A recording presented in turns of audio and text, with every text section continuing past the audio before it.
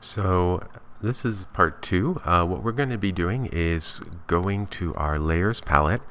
Uh, like we did before, we're going to unlock layer one because uh, we're going to put a new sheet in our layer one. So select layer one, go to file, place, find your sheet number two uh, on your desktop and go ahead and place it uh, into your, um, your new artboard and go ahead and lock layer one and now click layer 2 again so that we can continue with our uh, exercise here.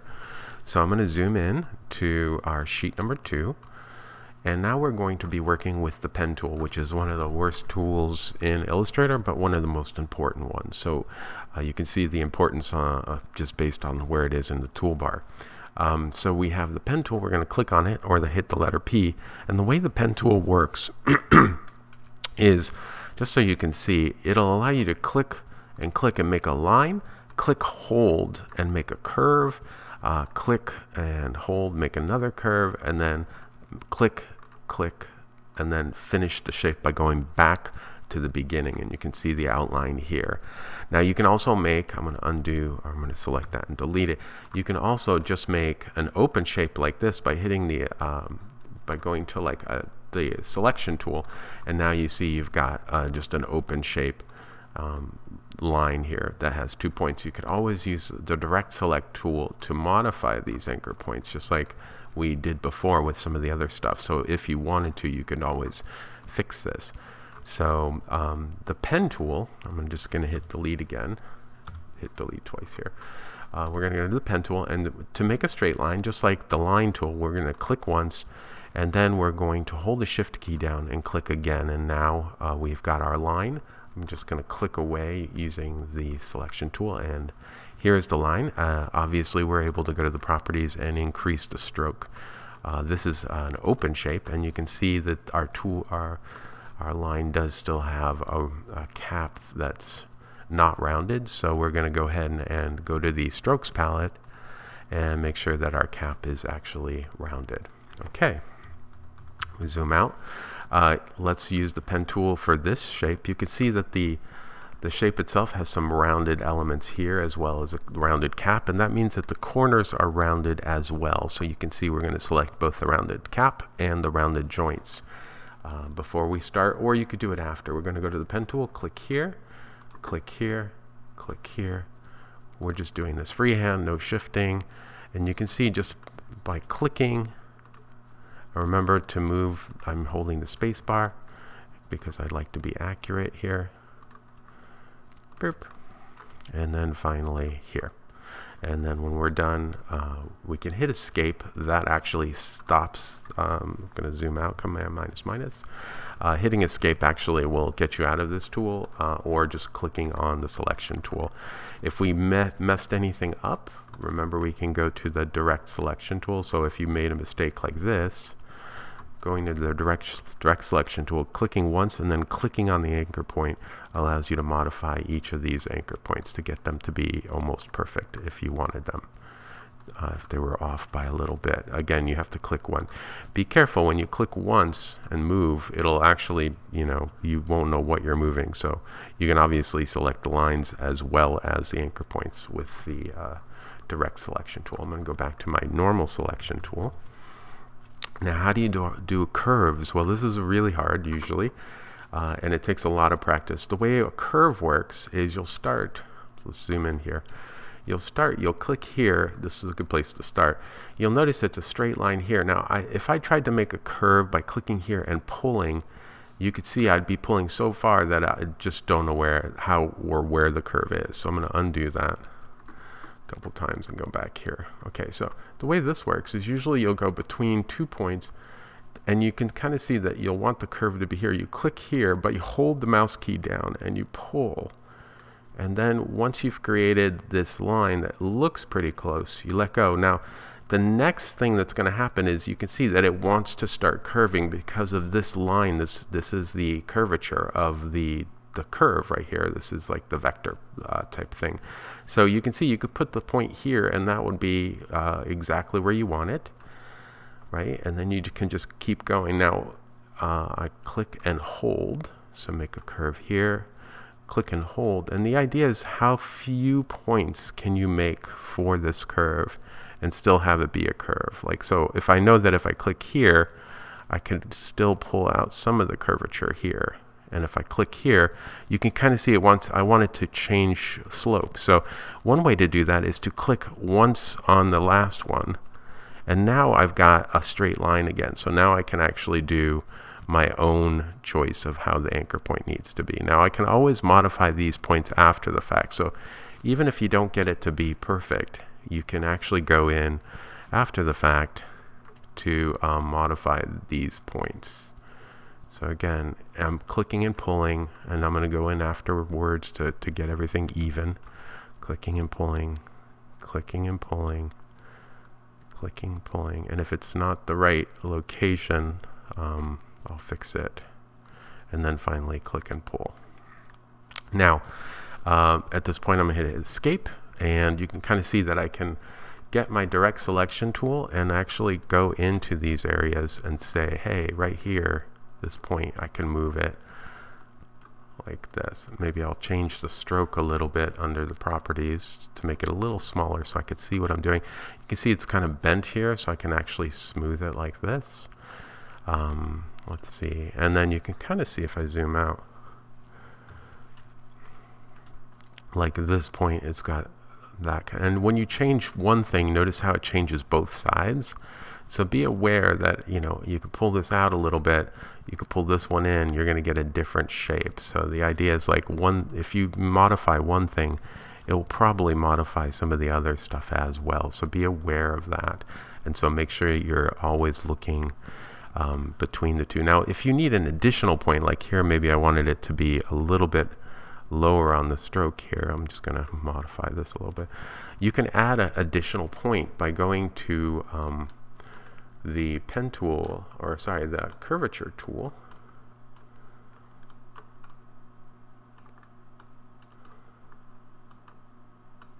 No, the pen tool. If you hit the plus button, I'm just going to go to the direct selection tool here for just so you can see this. If you hit the plus, just the plus button, you'll notice you'll get the, the pen tool with a plus on it. You see here? And that allows you to add a point to the curve. You notice how that happened. The minus uh, button will go to the remove uh, that anchor point. So you can actually add plus or remove minus, um, use the tool to get to the uh, um, addition or subtraction of anchor points. Then going back to the direct selection, letter A, by the way, is the way you can get to this direct selection quickly. You can kind of see there, the letter A. Um, then you can go back and then modify the anchor points as needed. So again, when you add or remove anchor points, bad things happen. So be aware. Uh, like you can kind of see this one kind of changed a little bit and um, when I did that and try to get everything to like look as smooth as possible. So this is why we have so much fun with the pen tool. Um, and again, this is kind of wonky. Uh, so you can kind of either select it and move it uh, down the line there. And that changes this so we don't want to change this handle and kind of just working our way around here.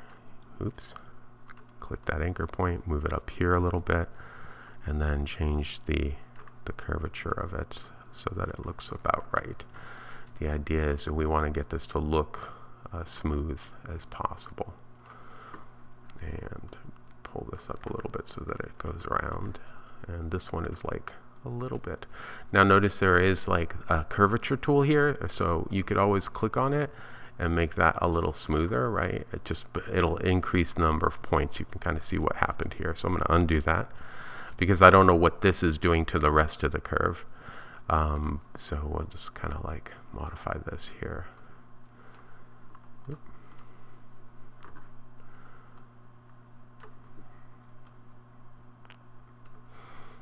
Maybe I'll click it once and then once again and then I'll just smooth it out a little bit and add and then change this anchor point to here so that it's smooth. Hopefully this is helping helping a little bit. The idea is that you want to be uh, as um, precise as possible with this tool so that um, you get good at it because you'll be using it to trace your own illustrations uh, as well. So there we go. Uh, I'm going to zoom out a little bit, command minus minus minus. And that looks pretty good. And if I use the selection tool the regular one select it and just increase the size you can see that's pretty good. Okay um, the curvature tool is our next tool. So pen tool you're going to need a lot of practice but you can kind of see um, by the way, this is a Windows Snap to Grid. We turned the grid off, but you could actually use it with the pen tool. Uh, I'm going to hit escape here. I'm going to click, click. You know, notice how it's already, it's a curvature here. Um, that's because I'm uh, using the wrong tool, the pen tool. Hit the escape, select pen tool, and then click. We were over quick on, on our curvature tool.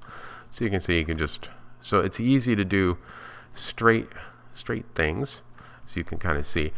But if we wanted to curve one of these points, right, how would you go about doing it, right? Because it's like a solid, um, it's not a, it's not a curve.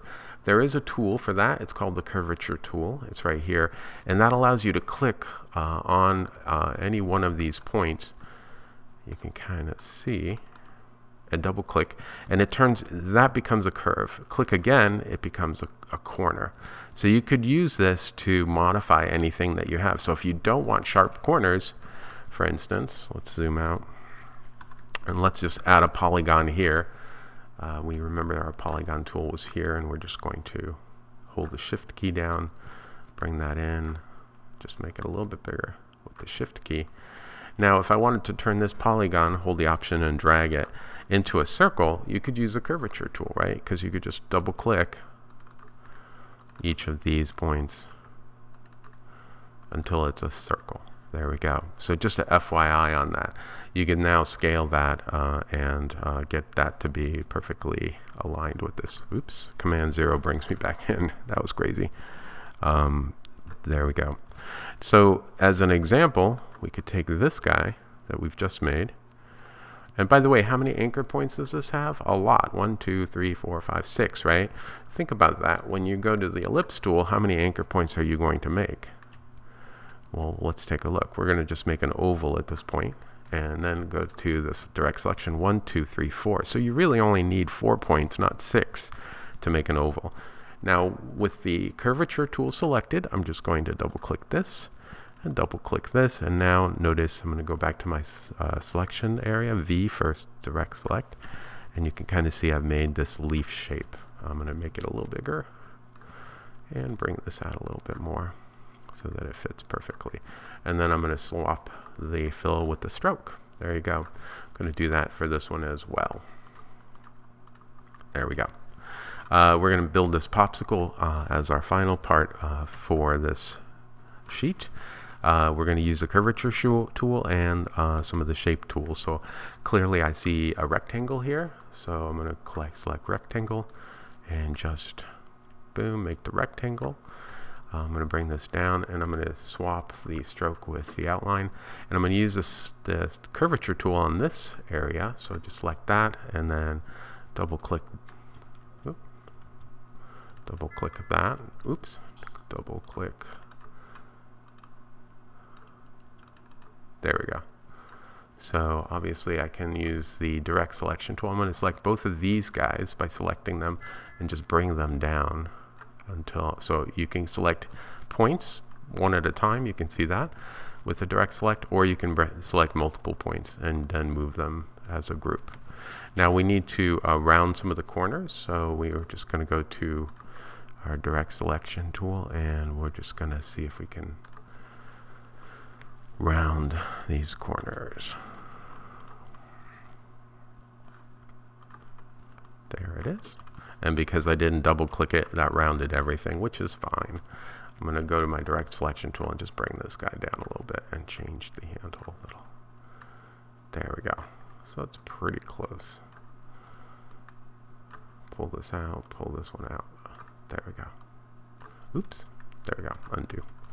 Uh, the next two things inside so are just regular rectangles. I'm going to go ahead and swap. Let's see. I'm going to select this guy and make sure he's red. Oh, I can't see, so I'll just leave him outlined for a moment. Uh, but I'm going to go ahead and use my rectangle tool and just create a rectangle. There is a rounded rectangle tool as well, but we have more control if we use uh, the rectangle tool and then we can round it as needed.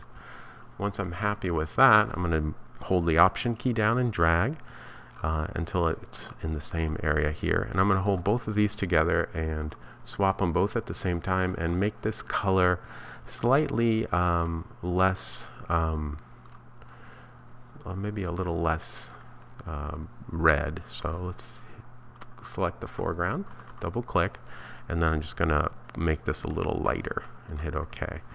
And then I'm going to select the back one and swap that and now you can see we've got these two things. Uh, for the last part we're just going to do the same thing as we did before. We're going to make a little rectangle. We're going to select our curvature tool right and we're going to select it. We're going to click and pull. That makes the bottom and we're going to make this color a little darker. Hit OK and we notice that we want to put this in the back. So, so let's go to my selection tool and right click. And then we're going to arrange send to back or shift command bracket. And now it puts it in the back. And then finally, we need that little bit of shadow. So we'll just use a regular rectangle to create that little bit of shadow. There we go. And we're going to change that color a little, to make it a little darker. And we're going to again push this to the back. So going back to my selection tool right clicking uh, arrange send to back. And now it's behind this one so I want to select this one arrange send to back. And now when I zoom out there's my popsicle